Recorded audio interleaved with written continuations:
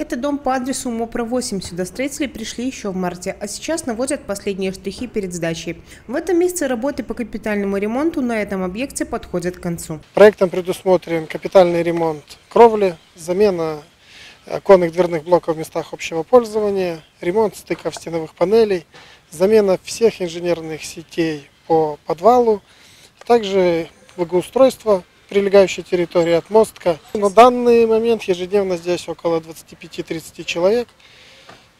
Значит, работа организована и в выходные дни, чтобы успеть в сроки. По погоде Некоторые люди даже с 8 утра приходят работать по кровле, пока нет жары.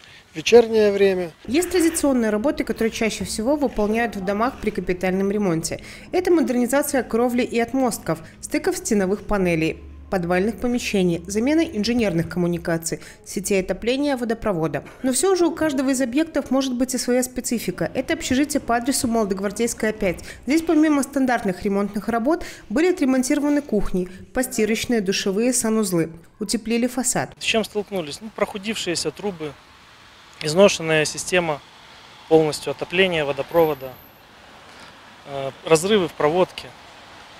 Все эти проблемы, они много где встречаются.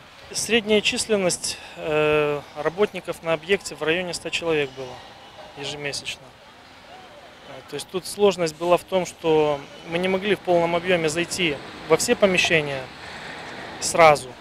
Э, нам отдавали объем работ частями, то есть, ну, чтобы люди пользовались инженерными сетями, местами общего пользования, и поэтому проводились работы поэтапно. Всего в общежитии проживает порядка 440 человек. В целом они отнеслись к работам лояльно. Мы обращались неоднократно с этой просьбой, чтобы нас поставили э, на очередь для капремонта, потому что уже здесь э, был ряд вопросов, которые было необходимо, особенно в частности электропроводки, канализации, сантехники, которые требовались замене, так как э, это здание 1978 года.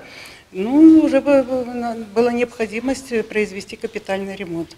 Ну и вот э, в сентябре 2022 года приступили к этим работам.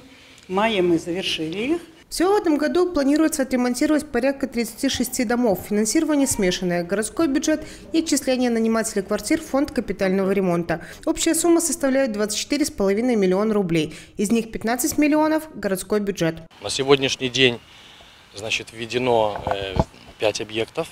5 объектов. 18 жилых домов находится в стадии строительно-монтажных работ.